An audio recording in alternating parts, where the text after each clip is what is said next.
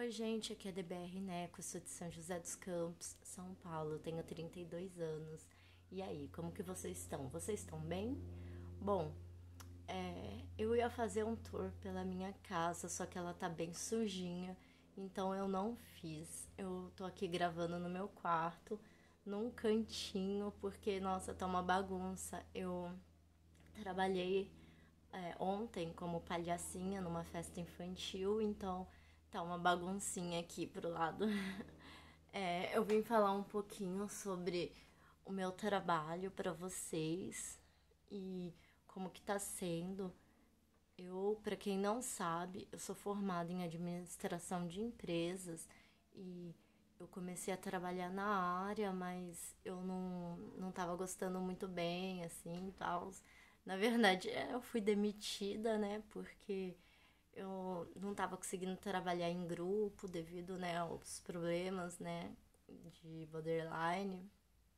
Eu sou uma pessoa muito difícil de lidar e até ultimamente também eu briguei com algumas pessoas, né, briguei com meu ex-namorado, saí da casa dele e vim aqui morar na minha casa e aí então saí do emprego e aí eu resolvi virar palhacinha e tá sendo super legal. Então muita gente acha que não, o borderline não consegue trabalho, não consegue emprego e fica muitos anos aí fora do mercado de trabalho, mas não é bem assim. Às vezes a gente não se dá bem com algumas pessoas. E, por exemplo, quando eu trabalhei na Atento, eu conseguia trabalhar em grupo, nossa, eu tinha um grupinho ótimo, fiz vários amigos lá. E no shopping eu não consegui trabalhar no shopping. Tinha umas meninas lá que não gostavam de mim, eu era uma ótima vendedora no shopping. Os clientes me adoravam e eu era meio chata assim, eu gostava de tudo arrumadinho, tudo de jeitinho certinho. E elas não gostavam de mim. E eu falava bastante também. então, aí é isso. Então, talvez você não achou o seu grupo certo, sabe? Então, não. Como posso dizer? Não desista. Tente achar um lugar onde você aceita, entendeu? Então, eu, no caso, resolvi virar palhacinha.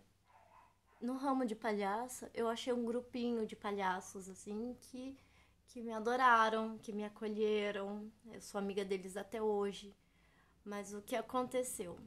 Pelo fato de eu sempre me sentir excluída e de fato ser excluída, porque é bem diferente você se sentir excluída e de você de fato ser excluída, porque uma coisa é não tá acontecendo e outra coisa, né, tá acontecendo. Então, eu achei que eu ia ser excluída e eu mesma me excluí do grupinho de palhaço, assim.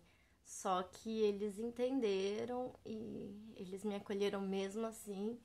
E eu sou amiga deles até hoje, então é, foi bem legal. Fiz essa amizade e eu sou palhacinha, só que eu trabalho sozinha. Trabalhei com eles bastante tempo, eles me ensinaram é, o Soneca, a Débora, a Val, o Chal.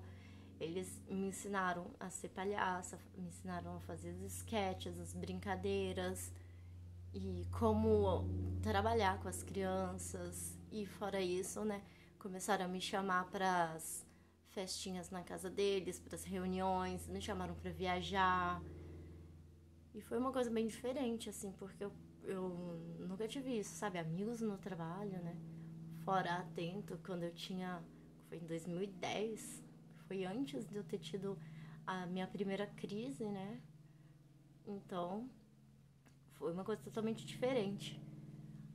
Aí eu achei bem legal. Então, eles são amigos meus.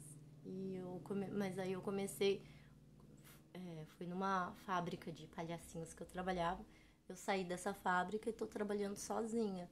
E achei o máximo trabalhar sozinha e tô nessa. Trabalhando sozinha a gente pode. A gente é bem capacitado, inteligente. Pode ser até famoso.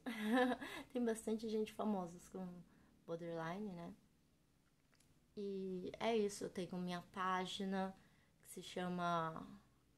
É, é, página não, né? Meu Instagram, que é arroba Débora Arco-Íris. E só que agora, né, com o Covid, então acho que vai de novo. Como que é? Parar as coisas, então vai ficar um pouquinho difícil. Meu Sansão. Tem vídeo antigos dele comigo. Mas é isso. E eu ia fazer né, um tour pela minha casa, mas tá bagunçado. Vou fazer no próximo vídeo. E tô um pouquinho chateadinha porque aconteceram umas coisas. Meus pais estão com Covid lá em Caraguá, né? Covid tá aí aumentando de novo. E mas é isso. Não é sempre que tá tudo bem, então né, a vida é feita de altos e baixos. Mas a gente não pode focar nos baixos, nas coisas ruins, então esperar para ver o que dá, as coisas boas que estão para vir. E queria saber de vocês quais, quais pessoas que trabalham, do que, que vocês trabalham, o que, que vocês fazem mesmo aqueles que fazem freelance, bicos, vende brigadeiro. Eu já vendi brigadeiro e tô pensando em fazer de novo, porque é uma ótima fonte, fonte de renda extra, né? Tem uma mosca aqui que entrou aqui, uma mosca selvagem. Ó, de novo. E o que vocês fazem da vida, o que vocês fazem para se manter. E é isso o vídeo de hoje. Bom dia, boa tarde, boa noite para quem tá vendo. E segue eu lá no Instagram, que é dbr underline neco. Neco é escreve N-E-K-O.